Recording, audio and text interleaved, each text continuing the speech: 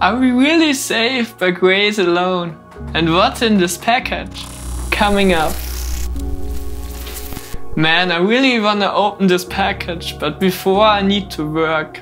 Today, on a youth sermon, I answer exactly that question how we can get righteous.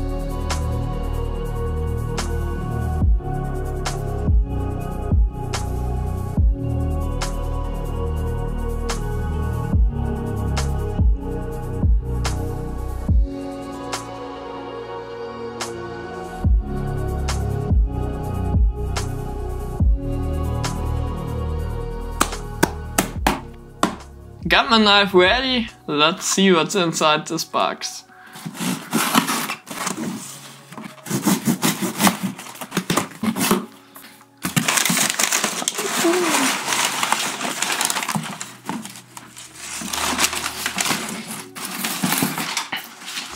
Here it is, and you can also see for what this gadget is.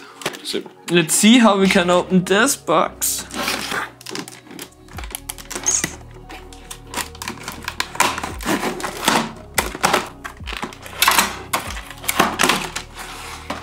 I'm really excited if this really holds my camera. I mean it looks sturdy but it can really hold 2 kilos.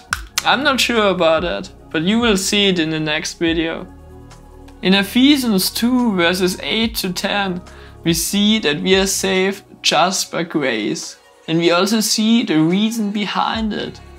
God prepared our good works. Without the preparation from God, wouldn't be possible for us that we are doing good things.